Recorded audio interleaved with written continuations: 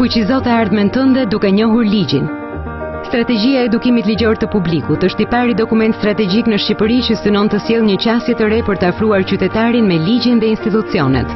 Edukimi ligjor i publikut është një e drejtë ligjore që na mundëson të njohim dhe të kuptojmë të drejtat tona.